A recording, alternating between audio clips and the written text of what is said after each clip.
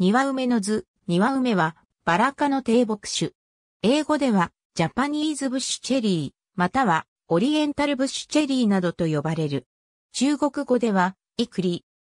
中国河北、河中、河南などの産地に自生し、日本へは江戸時代に渡来した。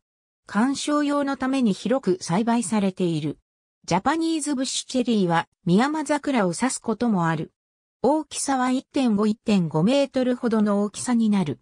花は私有動体で中倍花である。花は5月に咲く。実は甘い香りがし、14ミリメートルほどの大きさになり、パイやジャムなどに利用されることもあるが、味は炭見桜と似て酸味が強い。各果実には種が一つ入っている。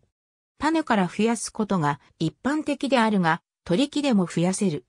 森林地帯や日当たりの良い場所で発見された植物で、水はけは良いが、湿り気のあるローム状の土を好み、ややかげる程度か、日向を好む。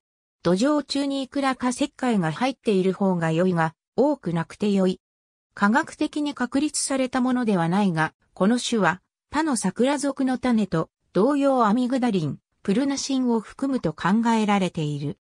これらの化合物は腸内細菌が持つベータグルコシダーゼといった酵素で、加水分解された場合、有毒のシアン化水素を形成する。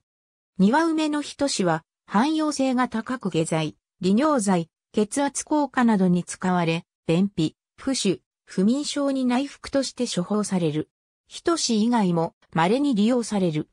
例えば根は便秘、子供の熱、歯の問題などに利用される葉は緑の染料となり、実は灰色がかった緑の染料になる。